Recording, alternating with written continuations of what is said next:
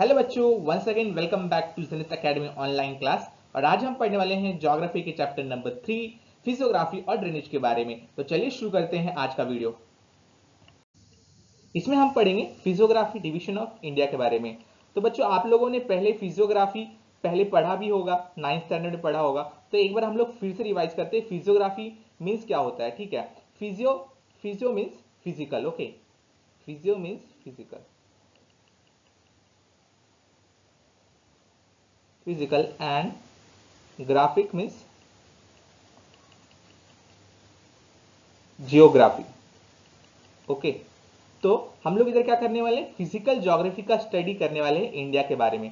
तो आपको पता है कि इंडिया में क्या है? माउंटेन माउंटेन्स है है ना? माउंटेन्स है प्लेन्स है, उसके बाद प्लेट्यूज है, उसके बाद कोस्टल रीजन है करेक्ट उसके बाद डेजर्ट है।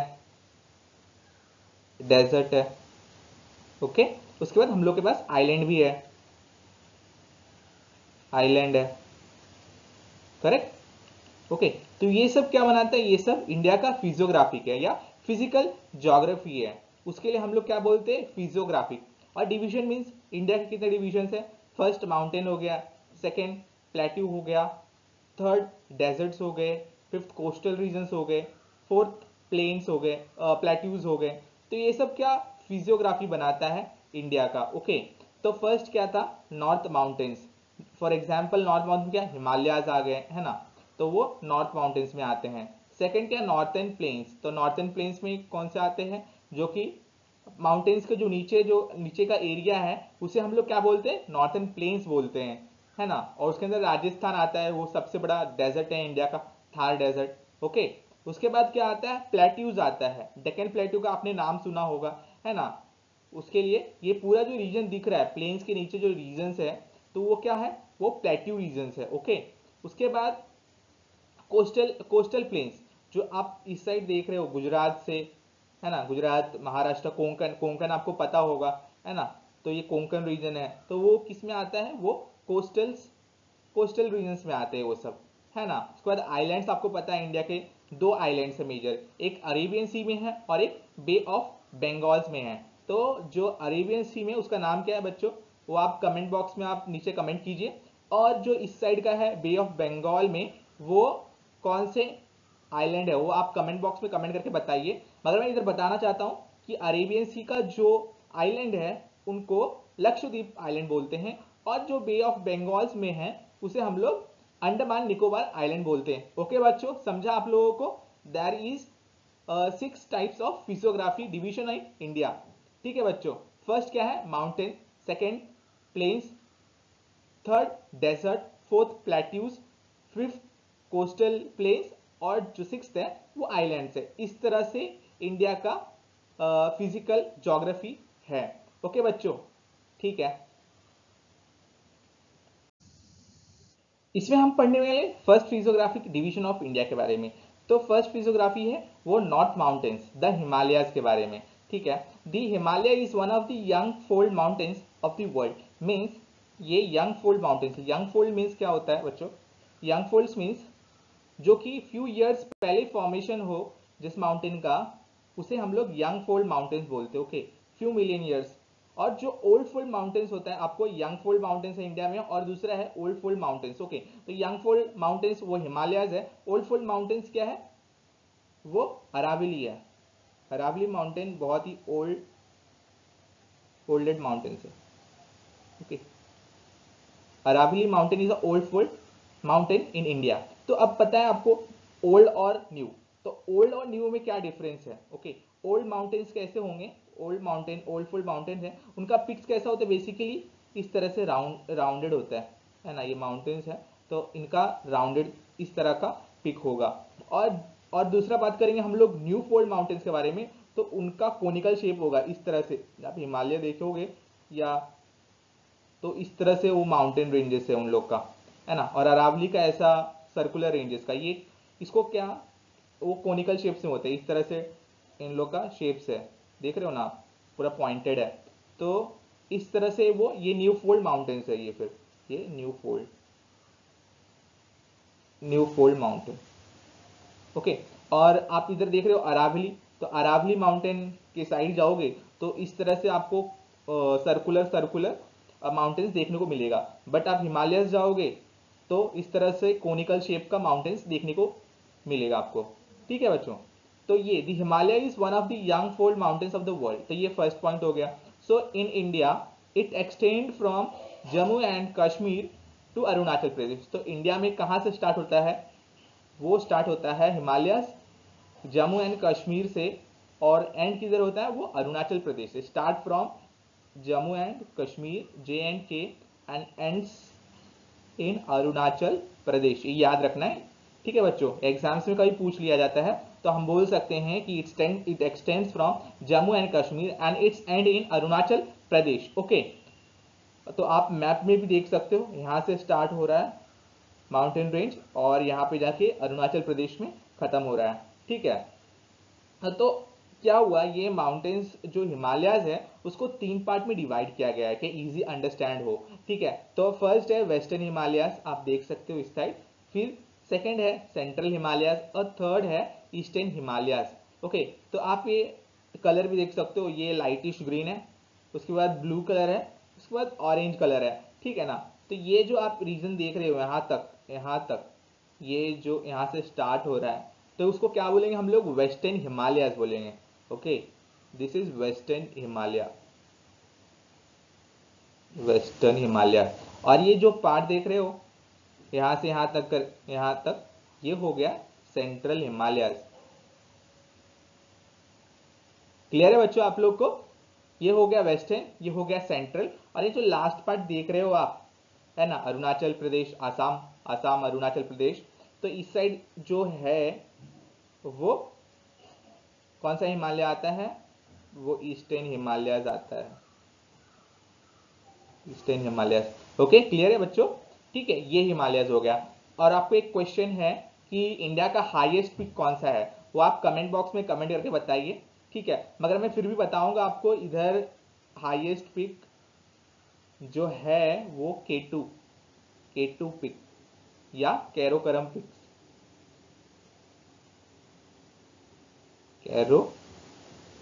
Karakoram peak is the highest peak उनका हाइट उनका हाइट कितना है? वो है 8611 मीटर ओके ये second highest peak of the world है। फ़र्स्ट कौन सा है? आप कमेंट करके बताइए बच्चों। ठीक है? तो ये हो गया नॉर्थन हिमालयस के बारे में, जो कि first physiography division of India है। ठीक है बच्चों? इसमें हम बात करेंगे second physiography division of India that is the north Indian plains के बारे में। ठीक है बच्चों? तो हमने पहले पढ़ा माउंटेन्स के बारे में, जो कि एक्सटेंड कहाँ से करता है? कश्मीर से एक्सटेंड करता है और अरुणाचल प्रदेश में उसका एंड होता है। ठीक है? तो ये जो पूरा नॉर्थ है, जम्मू कश्मीर से लेकर के अरुणाचल प्रदेश तो ये सब में सब हिमालयस था। अब हम हिमालयस के नीचे या माउंटेन्स के नीचे आएँगे तो हम लोग को क्या देखने को मिलेगा? प्लेन्स ये एम लिख देता हूँ मैं इधर। माउंटेन ओके इधर एम और इधर भी एम आपको समझ में आ जाए। ये जो रीजन है, वो माउंटेनस रीजन है। हिमालयस का रीजन है। ठीक है बच्चों? तो हम लोग जब नीचे आते हैं माउंटेन्स के नीचे अब आएँगे, पंजाब से राजस्थान होते हुए आसाम तक, कहाँ तक? आसाम तक। यहाँ से आप ये देख रहे हो डायग्राम ये मैप में भी, ये जो पूरा रीजन है है ना? ये पूरा रीजन है। ये पूरा प्लेन्स रीजन है। इसलिए हम लोग क्या बोलते हैं? इन सबको the north Indian plains okay ये जो रीजन है, ये आप जो देख रहे हो इधर ये राजस्थान में ये जो रीजन है, ये रीजन क्या है? ये डेजर्ट रीजन है। और इस डेजर्ट को हम लोग क्या बोलते थार। क्या बोलते डेजर्ट को? थार। इंडिया का एक ही डेजर्ट है, वो थार डेजर्ट है ओके और उसके बाद हम लोग इसको मरुस्थली भी बोलते हैं ओके और आप जो ये प्लेन देख रहे हो, और ये जो बे ऑफ़ बंगाल्स है ना, इस साइड क्या है? इस साइड इस साइड एक डेल्टा है। उसको क्या बोलते हैं हम लोग? सुंदरबन डेल्टा सुंदर बन डेल्टा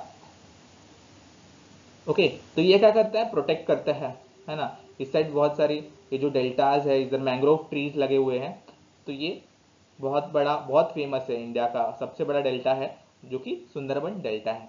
ओके, बच्चों, समझ रहा है आपको क्या है ये? ठीक है, हम लोग ने क्या पढ़ा इसमें? नॉर्थ इंडियन प्लेन्स के बारे में, जो कि जस्ट माउंटेन रीजन के नीचे आता है साउथ में आता है और प्लेट्यू रीजन के ऊपर आता है। ये जो रीजन है, अभी यहाँ से चालू होगा वो प्लेट्यू रीजन चालू होगा। क्या होगा?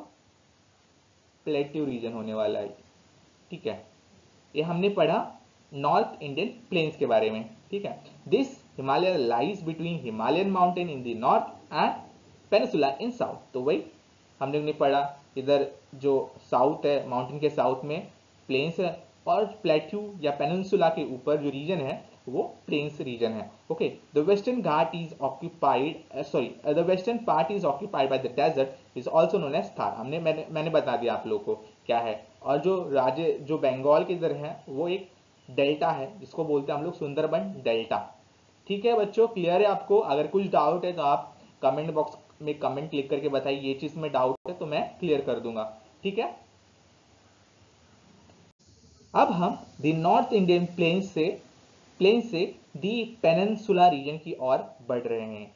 हमने पहले माउंटेन्स के बारे में पढ़ा प्लेन्स के बारे में पढ़ा, है ना? ये माउंटेन्स था, ये जो रीजन्स था प्लेन्स था।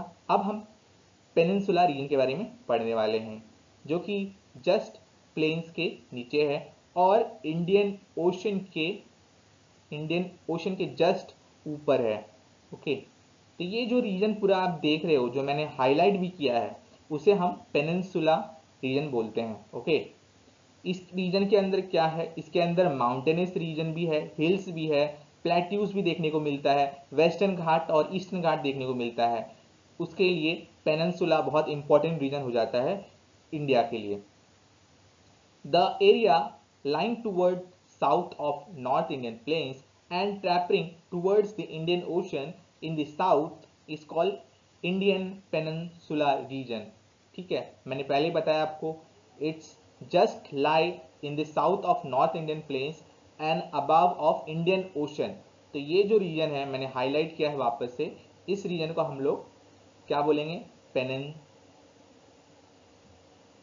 पेनसुला ओके okay, इस रीजन को हम लोग क्या बोलेंगे? Peninsula region okay it consist of many plateaus and high hills तो इसके अंदर बहुत सारे प्लेट्यूज होते हैं और हाई हिल्स देखने को मिलता है। The Aravalli in the north ये जो रीजन आप देख रहे हो अरावली का इस side the Aravalli in the north are the oldest fold mountains तो ये ओल्ड फोल्ड माउंटेन्स है this Aravalli okay old fold mountain okay हमने पहले न्यू फोल्ड माउंटेन के बारे में पढ़ा था। जो कि हिमालयाज है है ना? तो आप देख सकते हो, एक अरावली माउंटेन देख सकते हो विंध्या विंध्या रीजन देख सकते हो, सतपुड़ा, है ना? इसके बाद आप सयाद्री देख सकते हो, इस साइड है ना? तो ये सब क्या हो गया? ये सब हम लोग को हिल्स देखने को मिलता है माउंटेन्स देखने को मिलता है पेनिनसुला रीजन में, ठीक है? There are many folded mountains in the peninsular region like the Aravalli in the north हमने बात किया Vindhyas and Satpura in the central part of the India and the western and the eastern Ghats आप western Ghats भी देख सकते हो और eastern Ghats भी देख सकते हो। जैसे कि हम सयाद्री में आते हैं तो हम लोग बोलते ना, हम लोग घाटी में ट्रैवल कर रहे हैं, लोनावाला की घाटी, है ना? उसके बाद बहुत सारे घाटी देखने को मिलता है हम लोग को सयाद्री रीजन में। तो वो किसमें आते हैं? वो वेस्टर्न घाट्स रीजन में आते हैं। वैसे ही ईस्टर्न घाट्स में बहुत सारी हिल्स है और घाट्स देखने को मिलता है। उसके लिए इंडिया एक बहुत ही बेस्ट प्लेस है। एज अ फिजियोग्राफी देखेंगे तो। नॉर्थ में माउंटेन्स देखने को मिलता है, जो सेंट्रल इंडियाज है, उसके नीचे हम लोग को प्लेन्स देखने को मिलता है और पूरा प्लेट्यूज और पेनिनसुला रीजन देखने को मिलता है और साथ साथ इंडियन कोस्टल रीजन देखने को मिलता है और साथ साथ आइलैंड भी देखने को मिलता है इंडिया में। उसके लिए इंडिया का फिजियोग्राफी बहुत ही अच्छा है पूरे वर्ल्ड में। ठीक है बच्चों तो ये था दी पेनसुला के बारे में। हमने फ़र्स्ट में पढ़ा है द माउंटेन रेंजेस है ना उसके बाद नॉर्थ इंडियन प्लेन्स और हमने थर्ड फिजियोग्राफी पढ़ा है वो पेनसुला रीजन के बारे में पढ़ा है। ठीक है बच्चों क्लियर है आप लोगों को? ठीक है।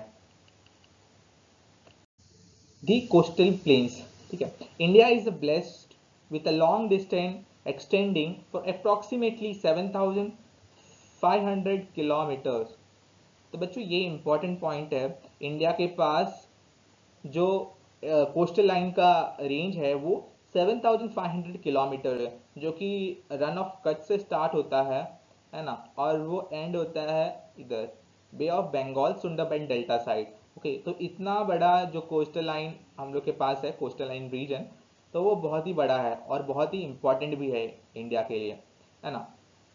It lies to the western and the eastern part of the peninsular वो कहाँ लाई होता है? कोस्टल प्लेन्स जस्ट वेस्टर्न ये वेस्टर्न वाला वेस्टर्न घाट है ओके वेस्टर्न घाट और ये साइड जो आप देखोगे, इधर ईस्टर्न घाट है। ठीक है?